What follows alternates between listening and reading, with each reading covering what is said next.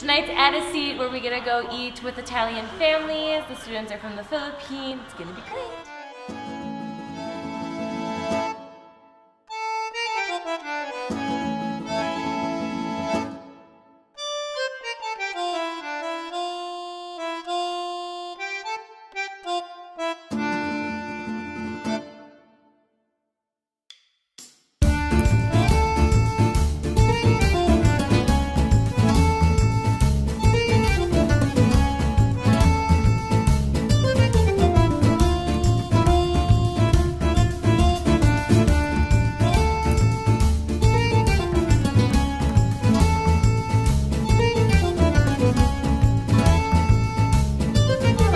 I'm Beatrice and I'm from Italy. I am 16 years old and I learn my English by listening to, listening to music, watching YouTube videos and uh, speaking with my friends from all over the world and I think that's actually the best, uh, the coolest thing to do when you want to learn languages. So yeah.